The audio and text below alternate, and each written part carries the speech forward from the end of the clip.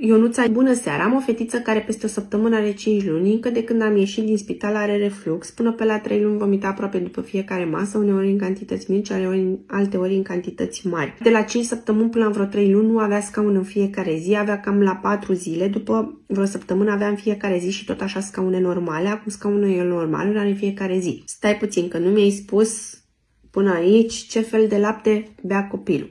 Contează felul în care ai născut, contează uh, evaluarea copilului în guriță, de fren, de palat, contează ce lapte bea, cum ți-am spus, contează ce ai încercat tu până acum de reflux, contează cauza refluxului, nu contează că în cantități mici sau mari, cel mai probabil avea și silențios, adică dacă erau cantități pe care tu le vedeai, era un reflux uh, vizibil, dar cel mai probabil are și silențios. Nu e ok că nu făcea scaun în fiecare zi, dacă vorbim de un copil alăptat exclusiv, poate să facă mai rar, dar fără alte simptome, gen reflux.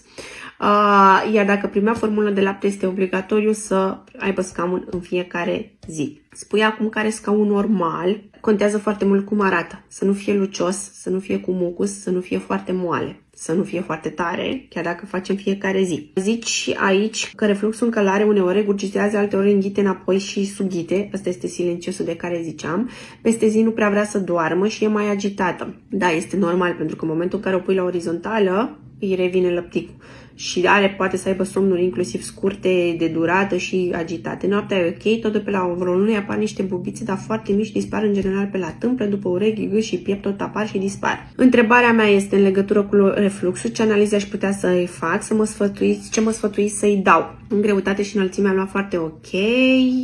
Bun, hai să spunem așa, deci faptul că a avut probleme cu scaunul, că a avut probleme cu refluxul și că îi apar aceste brobonițe. Sunt trei simptome din patru care uh, au legătură cu sensibilitățile, cu reacțiile întârziate. Poate să fie la diverse alimente, poate să fie uh, doar pe dezechilibru de floră. Refluxul. Refluxul poate să fie de sine stătător sau poate să fie asociat cu aceste reacții, să fie corelat cu aceste reacții și da, să aibă, să aibă, să aibă o intoleranță, o sensibilitate, ceva. Te interesează cauza dacă vrei să treacă refluxul, pentru că mai este o problemă, sunt copilași care în jurul vârstei de 5, 4, 5, 6 luni ajung să facă corelația dacă mănâncă doare, mai bine să nu mai mănânce. În momentul în care este vorba de o sensibilitate din aceasta și urmează partea de diversificare și tu nu știi, nu, nu o să treacă refluxul, ci din contră poate să fie accentuat și să se facă, să aibă reflux inclusiv la alimente solide. Uh, fetelor, acestea au fost întrebările voastre în această săptămână.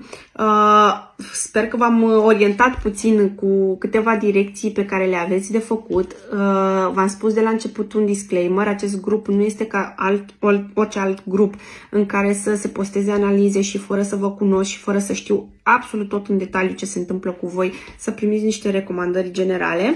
De aceea, dacă aveți fie analize deja făcute, fie vreți să știți ce analize să faceți, uh, puteți să-mi scrieți un mesaj privat, colega mea, asistenta mea o să vă preia cererea și atunci vedem dacă vă putem să vă ajutăm, dacă putem să găsim o soluție împreună la problemele pe care le aveți. Acest grup nu are rolul de a diagnostica, nu are rolul de a da tratament, ci are rolul de a vă informa, de a vă aduce clarificări la problemele pe care le aveți, pentru că foarte multe dintre voi ați fost deja pe la N medici, absolut nicio mămică cu care colaborez eu nu este prima dată când vine la mine, a încercat deja și alergo și gastro și N pediatri și medic de familie și dermato și de toate și au primit doar recomandări ține regimul X, de probiotic cu cutare, fără analize amănunțite.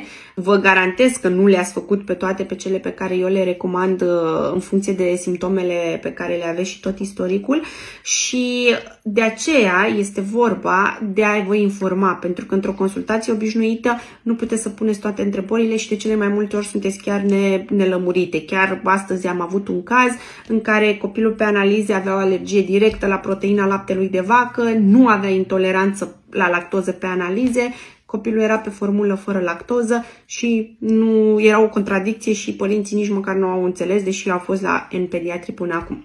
Deci, uh, și nu s-a diagnosticat exact cauza pentru care are simptomele pe care le avea copilul. Deci, e foarte important să fiți informate și să înțelegeți ce se întâmplă, pentru că doar atunci sunteți mame practic uh, responsabile, voi sunteți responsabile de evoluția copilului, nu medicul care vă uh, dă o rețetă și, și atât. de asta vreau să vă informați corect, de surse clare, nu de la alte mame și nu de la diversi, cum am spus, uh, medici sau uh, terapeuți care recomandă doar niște chestii, uh, chestii doar așa pe niște poze de analize și două, trei simptome aruncate acolo. Vă mulțumesc foarte mult! Vă rog să chemați uh, în grup alte mame, alte prietene. Dacă vedeți pe grupuri că sunt mame care postează că au probleme, invitați-le în acest grup pentru că în fiecare zi vedeți că se postează lucruri utile, informații. Fiecare mamă poate să-și ia informația de care are poate nevoie fix în acel moment. Vă mulțumesc și uh, ne auzim uh, săptămâna viitoare.